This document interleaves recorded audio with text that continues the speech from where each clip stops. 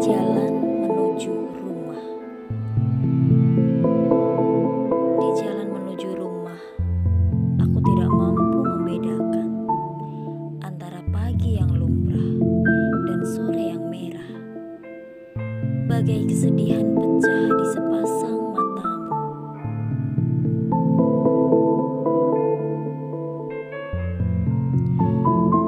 Aku tidak mampu membedakan